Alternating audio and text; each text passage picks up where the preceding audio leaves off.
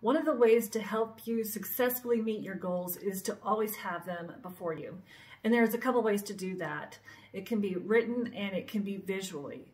So I have a journal where I keep my goals at and um, so that I'm always previewing them in written format. And Brian Tracy says that a good way to start with your, with your goals is to write them down daily for 30 days and then to always continue to pre that, preview them after that. And I like to do that in the mornings and the evenings, so I'm always keeping them fresh in my mind. And then the second way is visually.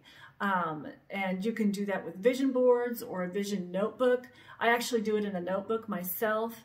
Um, and so say your goal is a certain car. So you'll go and take a picture of that, cut it out, put it in your vision notebook or your on your vision board.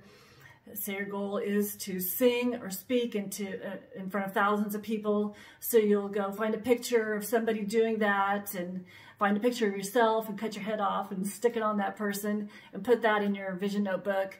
Um, or whatever goal it is that you want to um, be able to achieve within the next year or quarter cut a picture of that out and stick it in your vision board so that it's always in front of you visually and then you also have your goal journal and it's always in front of you in written format and you're previewing that in the morning and the evenings so that you're always focused on your goals and they're always before them and they're always before you and that helps you to succeed in achieving them.